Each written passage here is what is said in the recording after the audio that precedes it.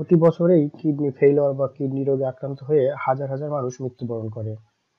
আপনি কীভাবে বুঝবেন যে আপনার কিডনিটি ভালো আছে নাকি কিডনিতে কোনো সমস্যা হয়েছে?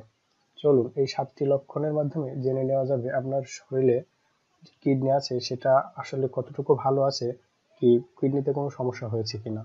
তো চলুন শুরু করা যাক। নাম্বার এক পিছনের ব্যথা বা ব্যাক পেইন অর্থাৎ পিঠের দিকে ব্যথা করা।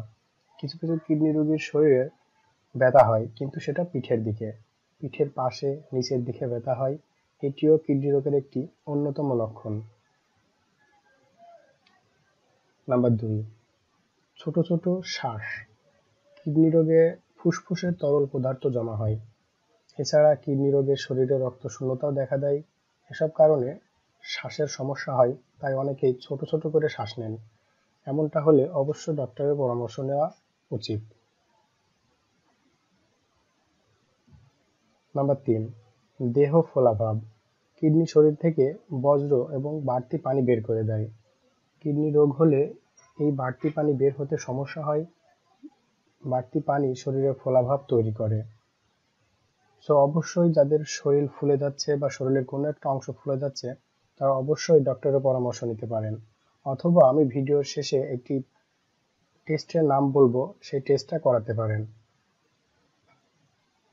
নাম্বার চার, প্রসাবের সাথে রক্ত যাওয়া। প্রসাবের সাথে রক্ত গেলে এটি খুবই ঝুঁকির বিষয়। এমন হলে দ্রুত চিকিৎসকের পরামর্শ নিন। এটি অত্যন্ত গুরুত্বপূর্ণ একটি লক্ষণ।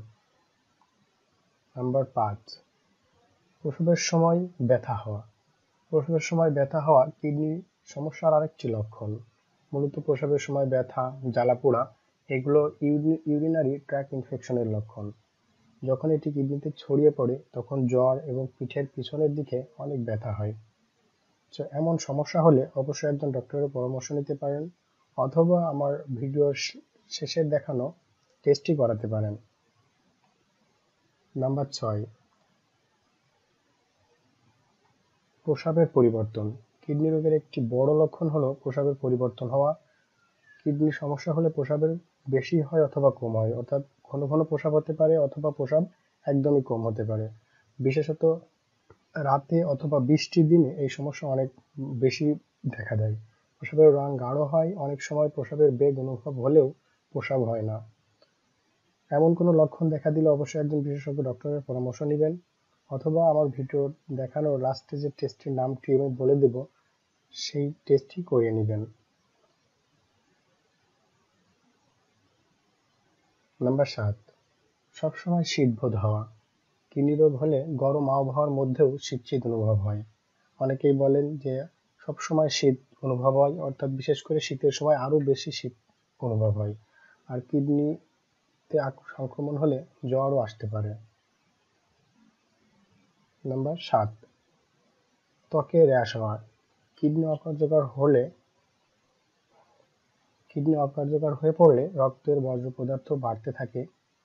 এটি ত্বকে চুলকানি এবং র্যাশ তৈরি করতে পারে। সো অনেকেই শরীরে বিভিন্ন ধরনের দাগ বা চুলকে চুলকে বিভিন্ন ধরনের দাগ তৈরি হয়ে যায়। অনেক বেশি চুলকানি হলে হতে পারে আপনার সেটা অ্যালার্জি অথবা কিডনি রোগের একটি লক্ষণ। সো অবশ্যই একজন ডক্টরকে দেখানো উচিত। এই ধরনের সমস্যাগুলো আপনার শরীরে যদি দেখা দেয়, অবশ্যই আপনি স্ক্রিনে দেওয়া এই টেস্টটি করিয়ে নেবেন। ভিডিও ভালো লাগলে চ্যানেলটি সাবস্ক্রাইব করবেন এবং বন্ধুদের সাথে শেয়ার করবেন। আজকে এই পর্যন্তই। যদি একটু ভালো লাগে, অবশ্যই চ্যানেলটি সাবস্ক্রাইব করে আমার পাশে থাকবেন।